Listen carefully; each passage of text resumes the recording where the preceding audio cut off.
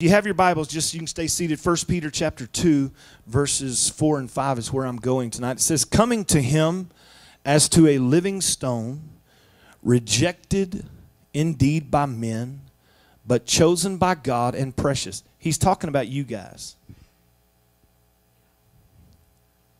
You're coming to him as a living stone, rejected indeed by men, but chosen by God and precious. You also, as living stones, are being built up a spiritual house, a holy priesthood, to offer up spiritual sacrifices accepted or acceptable to God through Jesus Christ. Amen. I'm going to start, I don't know.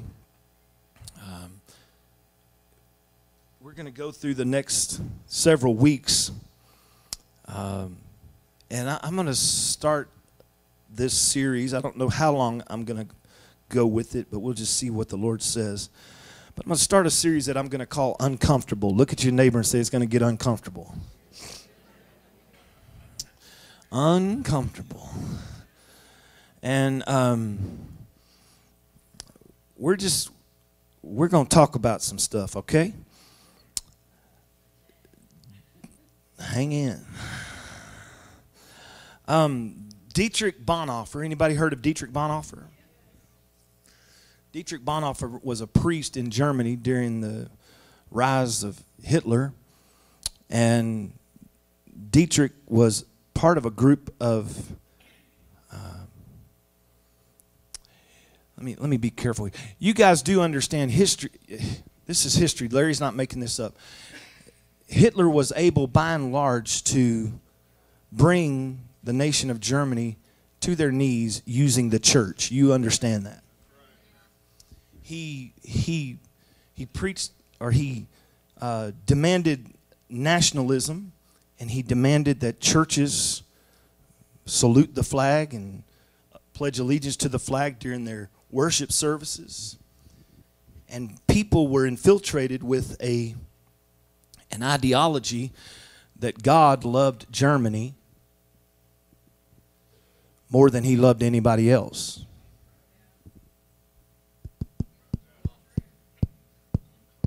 Yeah, it's already uncomfortable, right? and um, Dietrich Bonhoeffer was a priest who refused to join in. Now, I'm not telling you that Dietrich did everything right because he was also part of a plot to assassinate uh, Hitler. Um, but one thing that Bonhoeffer did was um, he refused to allow that to happen in his church on his watch. And he wrote books, and his, his books are very powerful. He was ultimately killed um, in, in prison for his, they called it treason um, because of his stance against Hitler and what he was trying to do in that, and for the plot to uh, have him killed. He, he ultimately paid with his life. But he wrote books and writings before he died. And in one of his writings, he said this He said, Those who love their dream of a Christian community more than they love the Christian community itself become destroyers of the Christian community, even though their personal intentions may be honest, earnest, and sacrificial. So when people begin to love their dream of what they believe Christianity is more than they love the Christ of Christianity, we become destroyers of the very thing that we say that we love. Am I making sense early or are you still? All right. So I'm, I'm sure tonight that if, if given the project of coming up if I were to ask everybody to take out a sheet of paper and write down, list as, as many items as you wanted to, and you come up with your dream church, and I ask you to write down everything that would be a part of your dream church, most of us could handle the task of describing exactly how the church of our dreams would look. Right down to the paint and the flooring. Because we are opinionated people.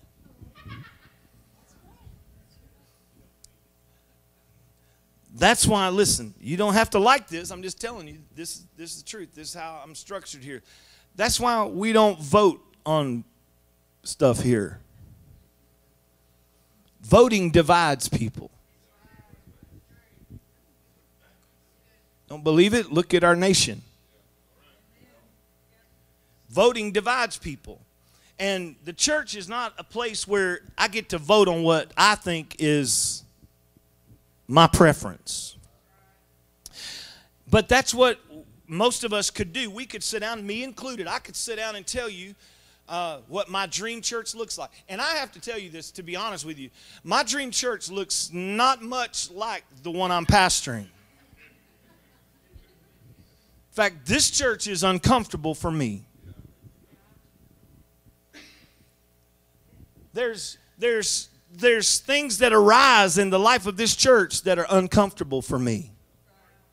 Because there's things that arise in the life of this church that go against the grain of everything that's been poured into me all of my life. And I'm having to try to figure out where my place is and what my role is in that. And um, I, I, met with um, I met with Bishop Miller today just he and I alone for about two and a half hours, and he just kind of poured some stuff into me, and I poured out to him. And I was telling somebody earlier that, um, like a lot of you come here because you feel like this is a safe place. I go to him because I feel like it's a safe place where I can I can speak freely about some things that I'm facing and some things that I'm carrying, and I, and I don't feel like I'm going to be judged, or I feel like if I'm wrong, I'll be told, hey, you're kind of crazy there. Uh, but, but I feel like it'd be done in the right way. You understand what I'm saying? And so I had some things that are, were on my heart, and I, and I just wanted to speak to somebody, and I had asked several weeks ago if I could meet with him, and he was gracious enough to give me a little bit of time. And so I drove there today and spent some time with him. But as I began to talk to him, um, there's a couple things, and I already had my message ready. You can ask my family. I, my, my message was ready yesterday because I knew I wasn't going to be around today.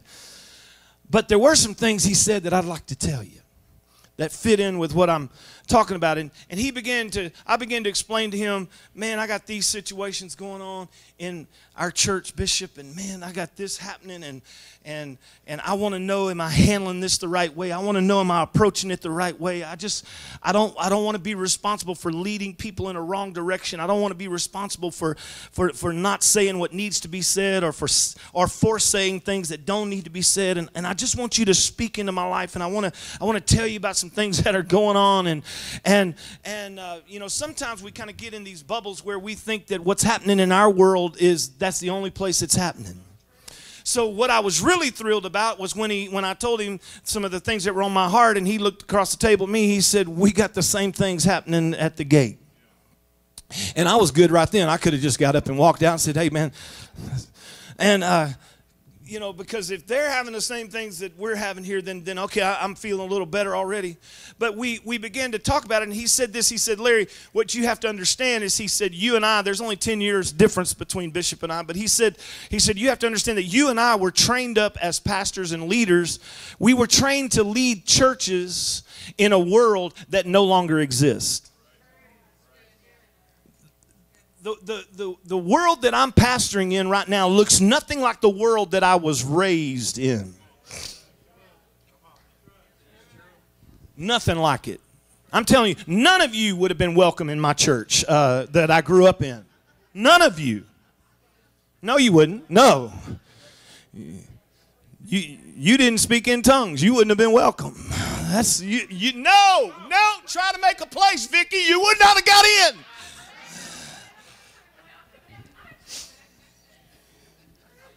Vicky always trying to get in. She, just kidding. That's right. Just, but the, the way the, it looks nothing like what it was and, and, and i'm telling you the things that, I, that i'm faced with in 2019 as a pastor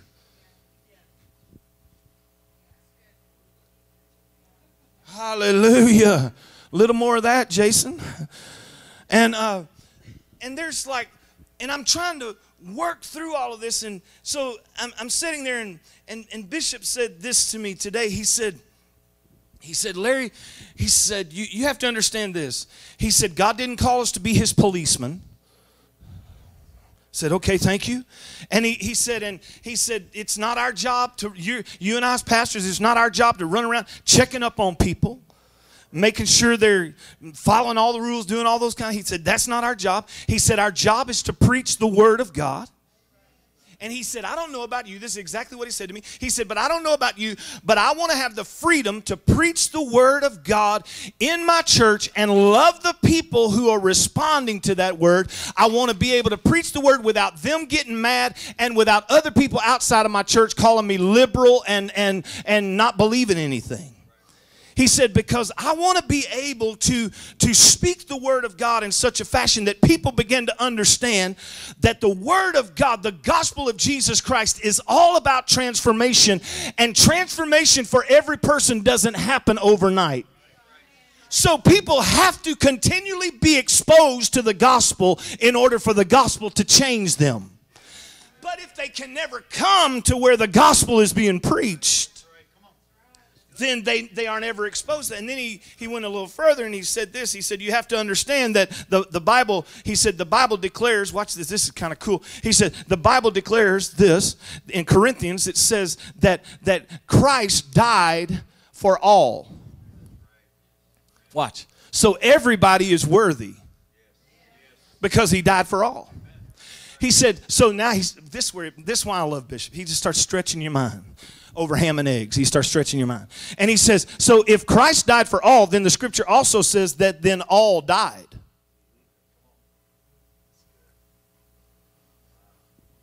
If Christ died for all, the scripture says then all have died.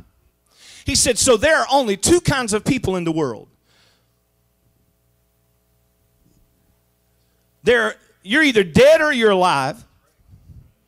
And you're dead or alive to one of two things you're either alive to Christ and dead to sin, or alive to sin and dead to Christ.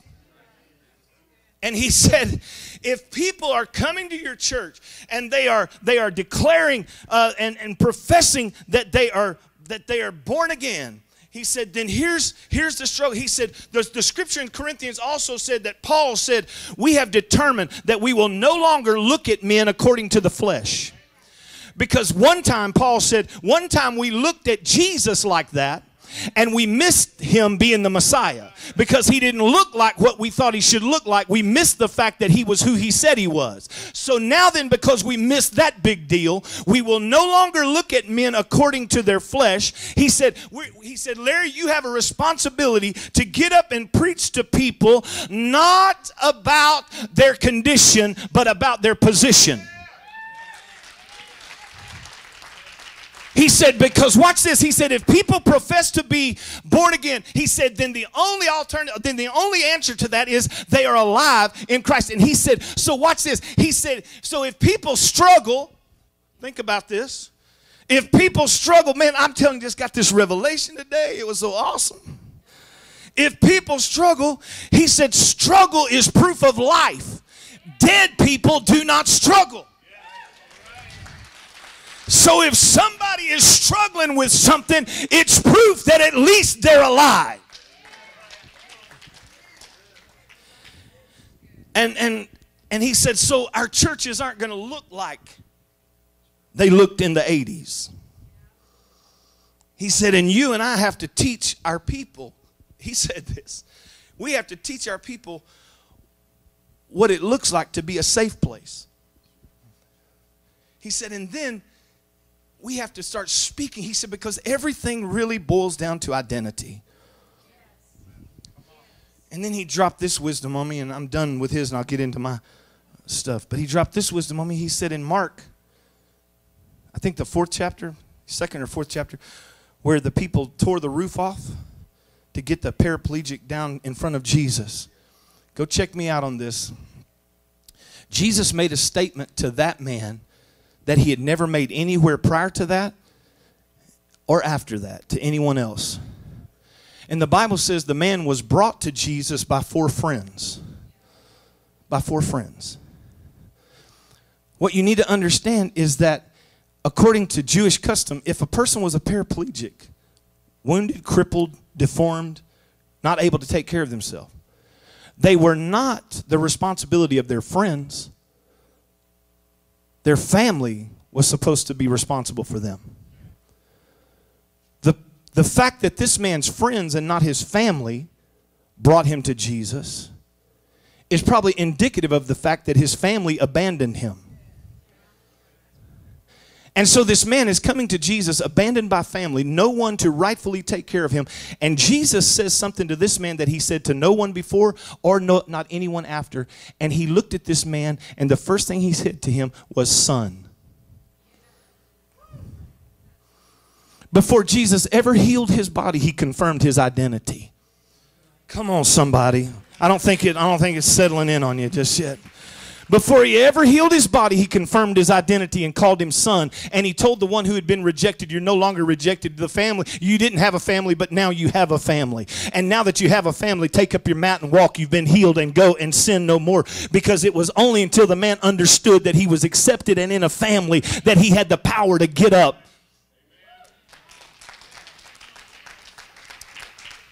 And, and so I, I began to think about like I, begin to think about our um, the way we the way we do church, and I begin to think about like what our ideal church would look like, who we'd let in, who we wouldn't let in, how it would all work out. And I think Bonhoeffer hit it pretty much dead on when he said that even though our efforts may be honest, earnest, and sacrificial, when our dream for the church matters more than our love for the lead of the church, the head of the church, Christ, we ultimately destroy those who make up the community called the church.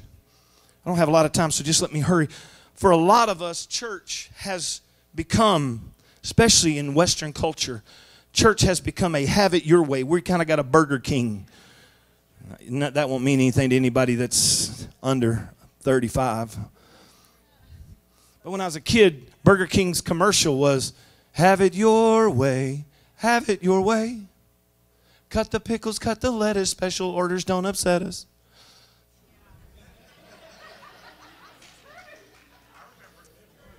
That was their, that was their song.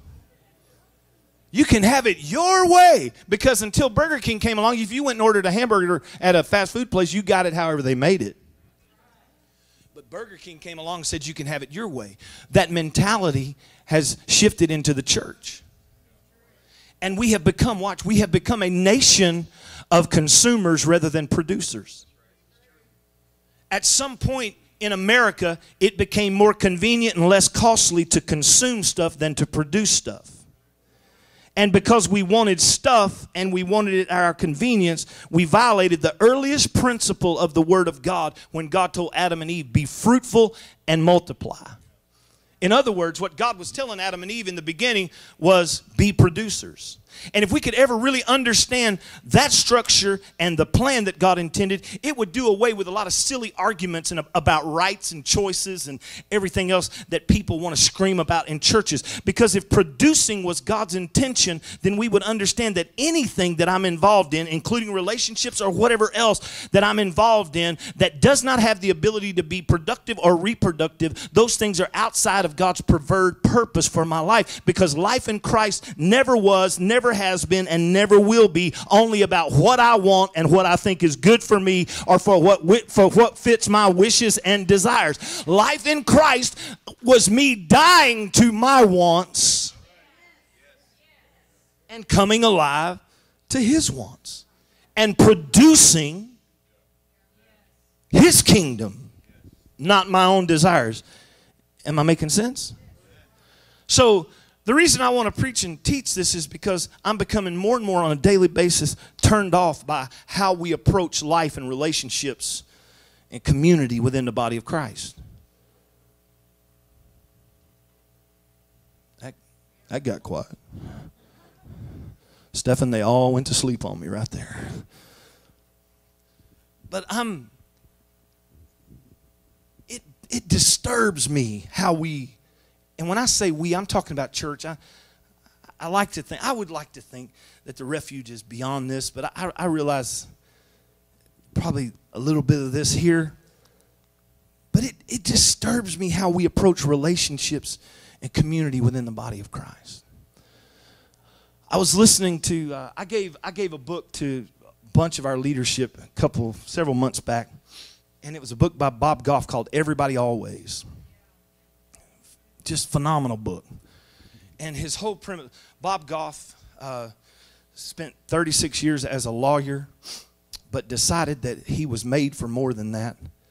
And now then he goes to Uganda, he goes to Afghanistan. He has an organization called Love Does and he goes all over the world and he builds schools for children and he just loves on people because he believes that all people no matter where they are what country they come from what the color of their skin is that all people have value and um, i was listening to a podcast uh, of his as i was driving home today and he said something in that podcast talking to somebody else but he said something in that just stuck in my brain and he said this today. He said, I want my love for people to dwarf my opinions about them. Come on, somebody. I want my love for people to dwarf my opinion about them. I, I, I, want, I, don't, I don't want to be looking at people after the flesh.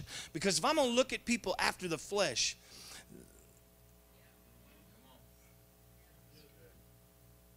man, if I if I'm just gonna if if if my relationship with you is gonna be based on what I see and what you're showing me, then you and I probably aren't gonna get in relationship because what I'm gonna say is, man, I don't like everything about that. And see, what has happened in churches, church has become a place to where we have tried to create a homogenous society where there's only people just like us. And if anybody comes in that's not like us, then it's uncomfortable. And we would rather drive them out than deal with the uncomfortableness that comes in trying to live and worship in community. Because everybody deserves a chance at Jesus. But it's uncomfortable. It's uncomfortable. Listen, it's uncomfortable to worship at this church. You people get on my nerves sometimes. You do.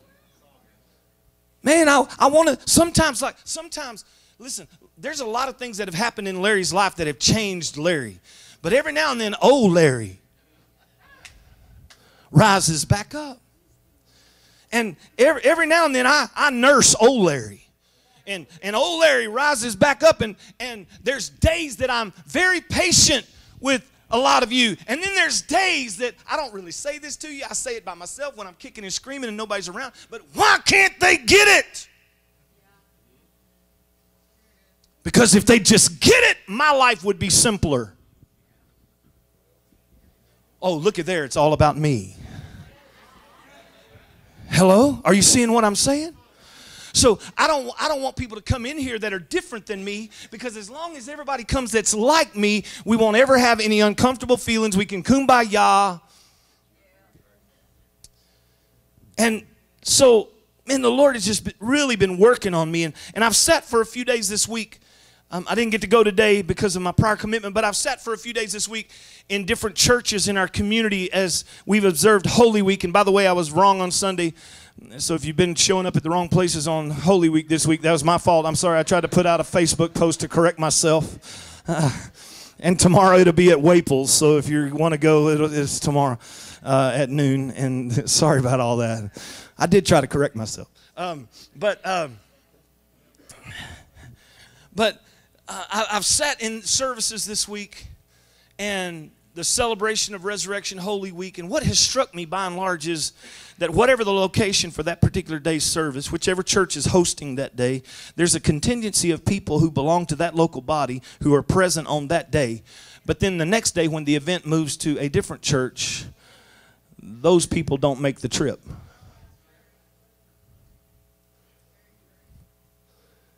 And so, whatever church, and see, I'm not connected to any of them, so I just show up at all of them.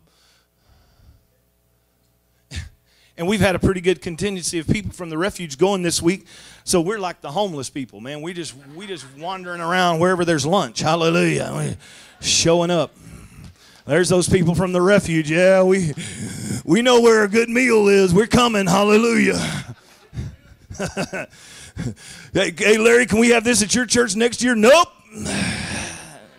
Ain't got a kitchen, but we're happy to keep coming here. So, so, um, so what I what I've noticed, in, you know, is and Rosanna and I have said this for years about simpler things, but listen, every time somebody has a baby shower, it's not always convenient for Rosanna and I to make an appearance. Or if we get invited to a birthday party, it's not always convenient. Because people, people do crazy things. They plan a birthday party on Saturday at 2 o'clock. That is right in my nap. I'm telling you, if you know me, you know that's my nap time. And, and y'all can laugh if you want to. I'm an old brother, man. I can't go like I used to go. And and if you plan something at 3 o'clock on Sunday, that's my nap time. But what we have discovered over our life is if we want people to show up for our stuff, it's, it's politeness and courtesy to show up for other people's stuff. And if we're not going to show up for other people's stuff, then we can't get mad when people don't show up for our stuff.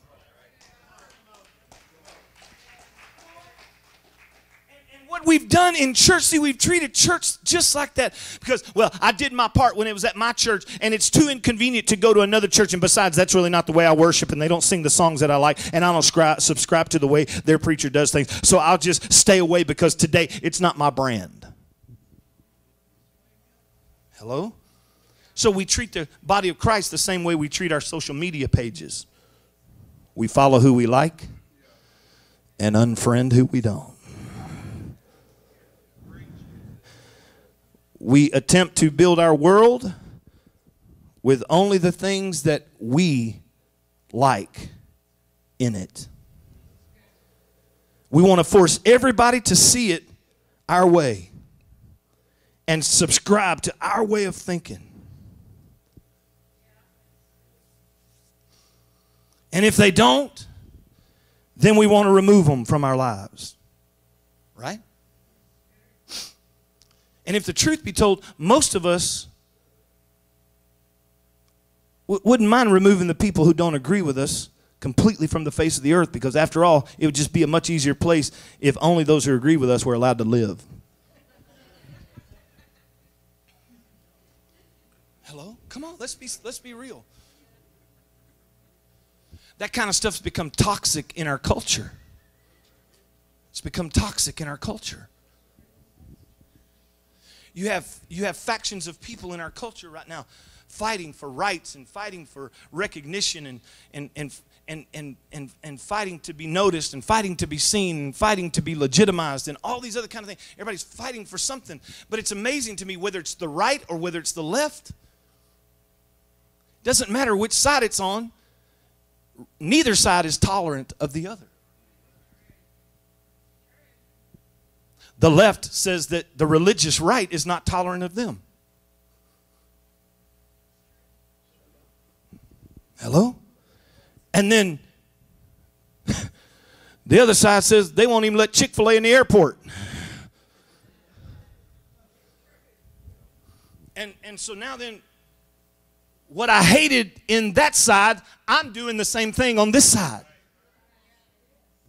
Come on and and we perpetuate these things because what we would all like is for everything to be the way. Am i making any sense here? Now are you okay I want everything to be the way that I want it to be. And I only want to see what I want to see. So, because that's the way we live our lives, that's the way that many of us have approached the church. If I go to church and it stops catering to my desires and it stops catering to my wants, if the pastor happens to say something with which I disagree, it doesn't matter that he said 99 things that I agree with. If he says one thing that I'm not in agreement with, if the praise team sings one song that I don't like, if the children's department asks my child to stop writing on the wall in permanent marker. If the youth leader asks for a little respect so they can teach a class all the way through, if I don't get assigned to that committee, if I don't get asked to be on that team or that board or hold that position in the church, I'm just going to move on because, Larry, there's a dozen other options in town.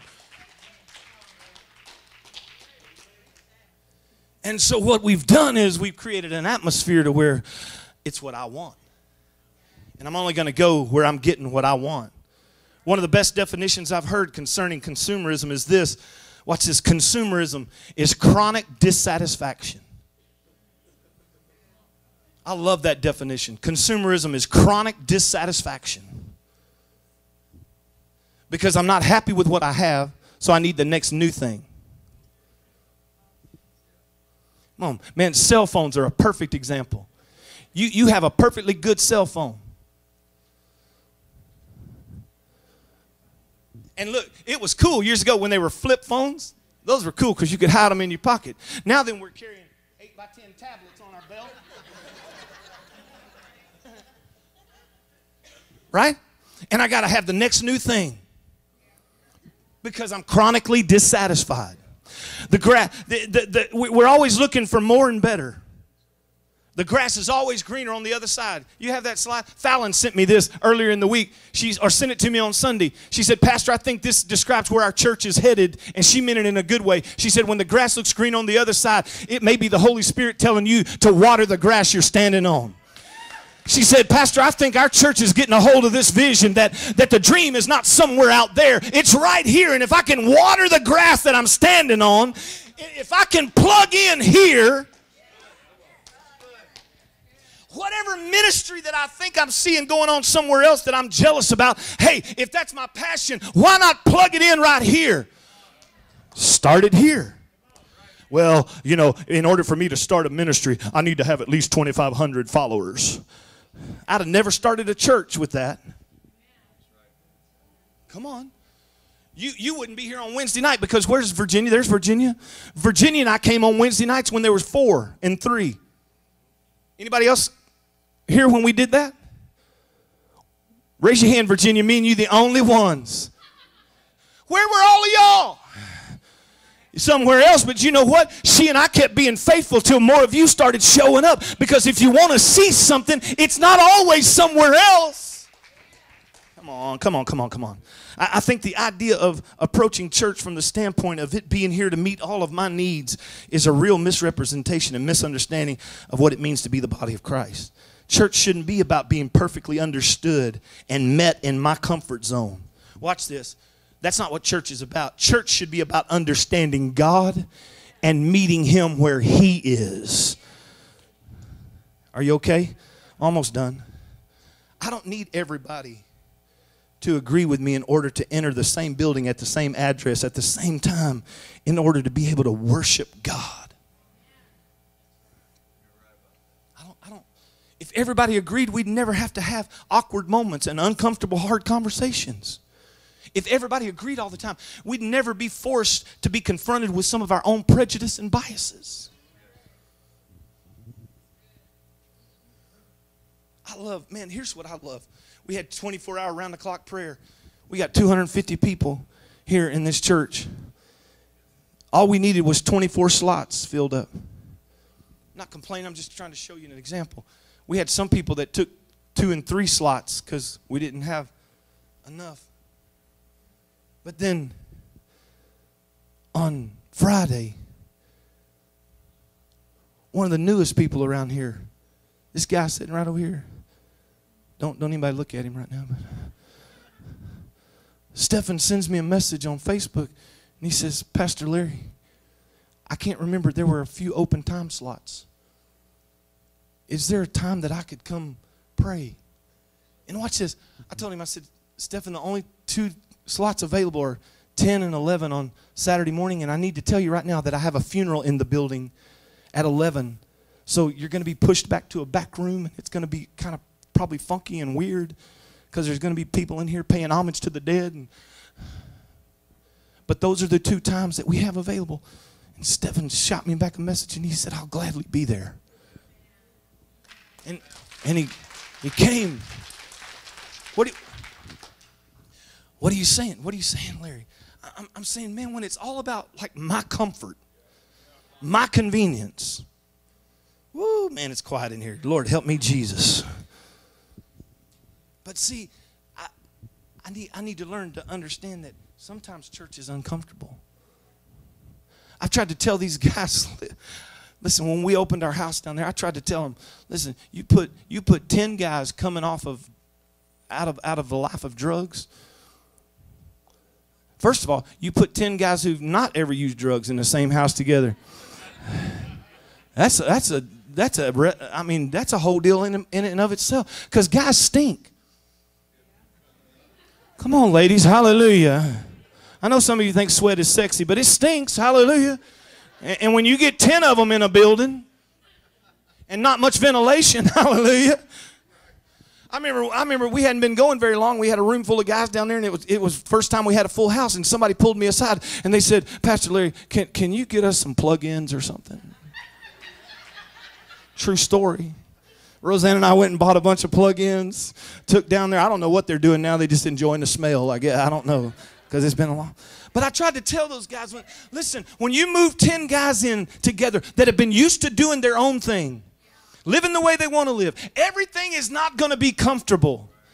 But sometimes being put in uncomfortable circumstances forces you to face some things that you probably wouldn't have any other way. It's the same way in the church. Hey, listen, how many of you understand this? We're not all going to come to church for the rest of our lives and none of us ever be upset with one another. But what we have to learn to do as church members is learn how to constructively and instructively talk about the things that offend us and hurt us so that we don't keep those things buried down, but so that we can get them out in the open so that there will be life in the house so that people will be able to come in and breathe the fresh air of the anointing of the Spirit of God.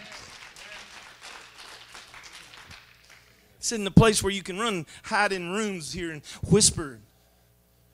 Because that Robert Burton. I don't even know why Larry lets him come to this church. Well, the same reason we let you come. Because that brother needs it. Hallelujah. Hallelujah. Right? Come on. It may be uncomfortable sometimes.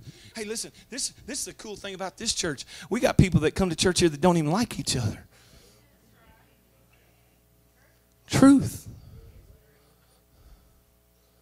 I'm not looking at anybody. We got husbands and wives that come to this church that don't even like each other. Hallelujah. Come on, somebody. I feel the preacher now. Hallelujah. Yeah. Come on. So so what so what does that mean, Larry? Does that that mean I need to go find a place where everything fits my my list? No, no, no, no, no, no. What you need to do is listen, Charles Spurgeon said this. He said, If I had never joined a church till I found one that was perfect, I should never have joined one at all. And the moment I did join it, I had if I had found one, I would have spoiled it. For it would not have been a perfect church after I had become a member of it. Still, imperfect as it is, the church is still the dearest place on earth that we can gather and offer worship to the King of Kings and to the Lord of Lords. Listen, this is about more than my preferences and your preferences. This is about people's lives being changed for the kingdom and the glory of God. So get over yourself.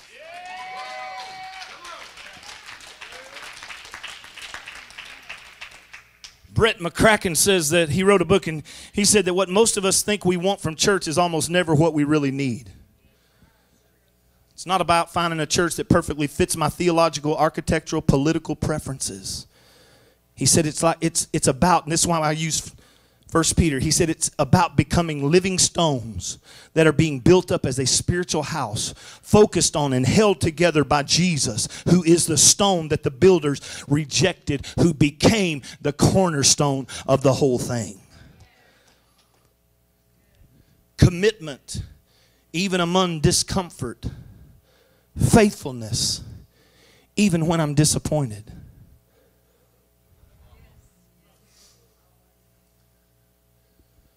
I'm gonna, I'm gonna tell you a little story. I'm done. But I referenced this. I, I did Virginia's testimony last night, and I referenced this situation. We didn't get all into it, but Virginia had invited somebody to church one time, and they came, and it kind of they they they came and they had high ideals about they were from another church and they were going to come in here and help us get straight. I think. And um, it became a really awkward situation, and I probably didn't handle it right. Well, I know I didn't handle it right. I know I didn't. And because I didn't handle it right, I hurt I hurt the, the woman's feelings and I hurt Virginia's feelings in the process. And I remember Virginia coming to me and she sat in my office and she said, Pastor, I've been telling everybody about how awesome our church is. And then when they come, this is what happens. I remember that all those years ago. And I vowed then, way back then, okay, I'm, I'm going to be better. And I'm going to be more aware. And I'm going to realize that just because things are uncomfortable doesn't give me the right to hurt people, even if I wasn't intending. Am I making any sense here? But the thing that I love about Virginia is that even though she was disappointed, and I'm sure, like, she's never directly told me this, but it's okay now you can tell me this. But I'm sure she was disappointed in me as a, as a leader, somebody she was looking to for spiritual direction. And I'm sure she was disappointed in me. But even in her disappointment, she, she stayed connected. She, she continued to come. And that's what it's all about because what being the people of God has always been about is that commitment when I'm uncomfortable and that faithfulness even when I've been disappointed. What would have happened if, if God would have bailed out on Israel the minute they said or did something offensive to him? Think back in the Old Testament. Think how many times Israel shook their fist at God. So what if God would have said, I've done, I'm done with you Israelites. I'm gonna how about how about the Canaanites? How about the Philistines? How about the Egyptians? No because God's not as fickle and restless as we are. God has covenant faithfulness to his people. Even when the relationship is difficult, even when the relationship is embarrassing. I've had people leave this church and I just, it, that church is embarrassing. Hey, you singing to the choir now. you telling me it's embarrassing, right? I, man, I know we got man, our, man, our stuff gets put out everywhere, including the Herald Democrat. Come on. The judges know me on a first name basis down at the Grayson County Courthouse. The jailer knows me. I go in so often to visit people. You, you want to talk? Listen, I know sometimes our mess is embarrassing, but God is never turned off by our mess because He doesn't see our condition, He sees our position. And He says, if you keep telling them about who they are, they'll come out of what they're doing.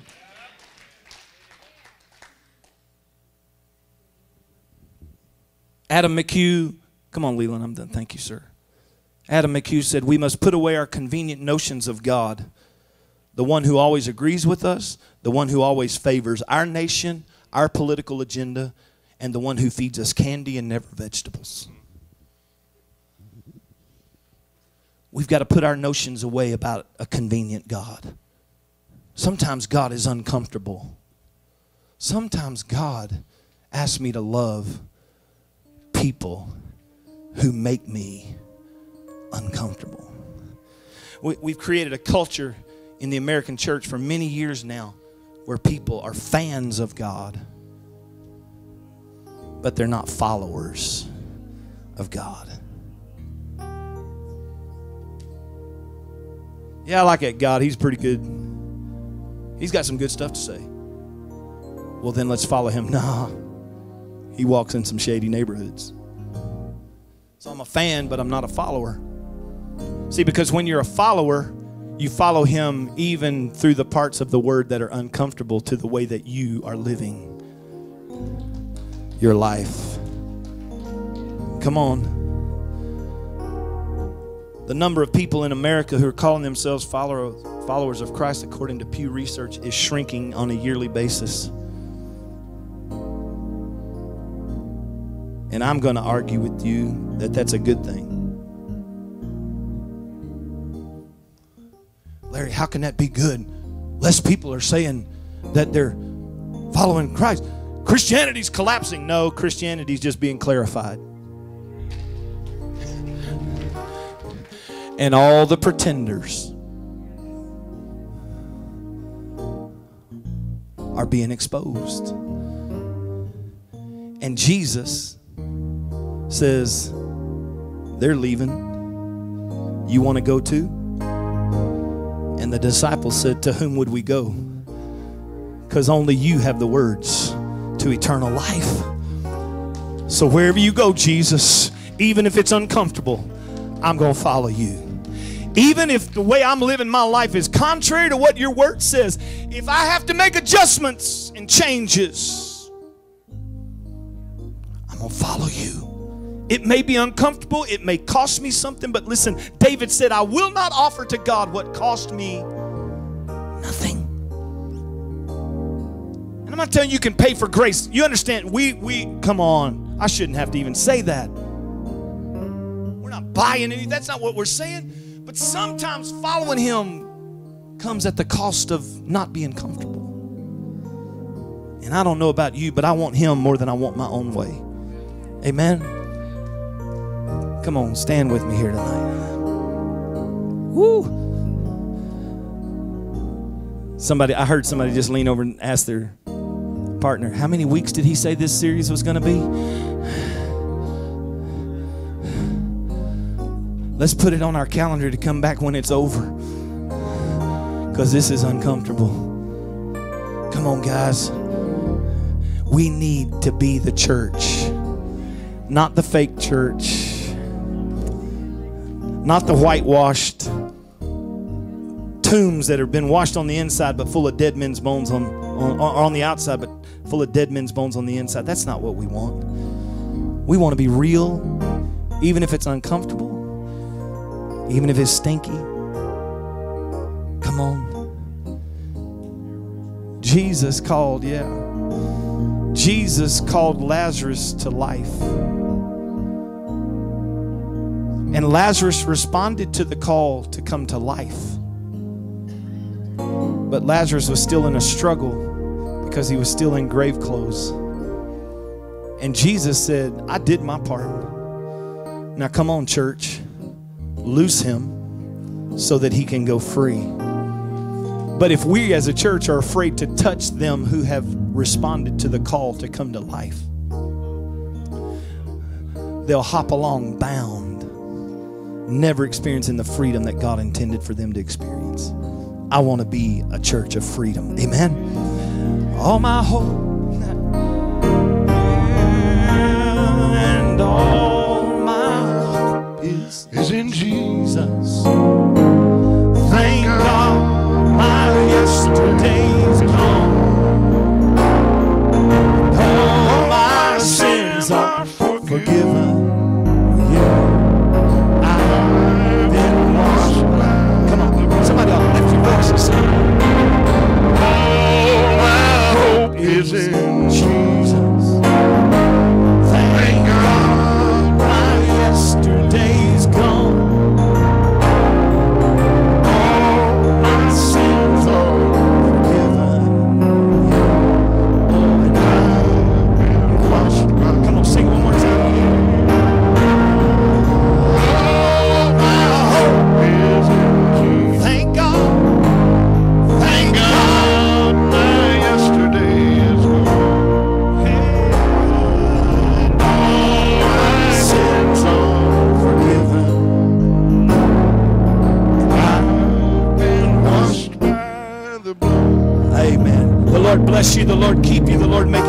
Shine upon you. May the rest of your week be filled with the joy that comes in knowing that Jesus is for you and not against you. I bless you tonight in Jesus' name. If you're uh, uh, if you're a, a man and want to go with us, come on, girl.